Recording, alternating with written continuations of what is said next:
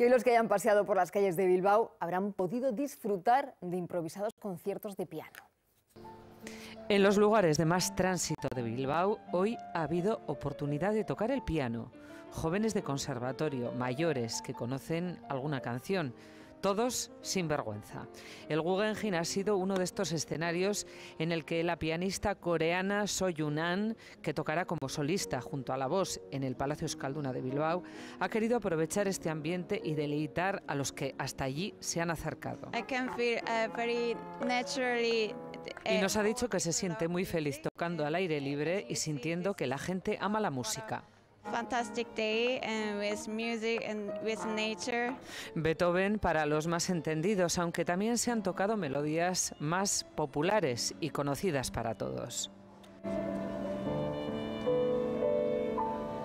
Qué hermoso, ¿verdad? Escuchar en vivo en la calle el piano. Nos atrapa además ese sentido especial que tiene la música y la gente se queda casi petrificada escuchando el piano. Hay siete pianos en todo Bilbao y además se puede hacer todo ese recorrido a lo largo y ancho de la villa durante todo el día.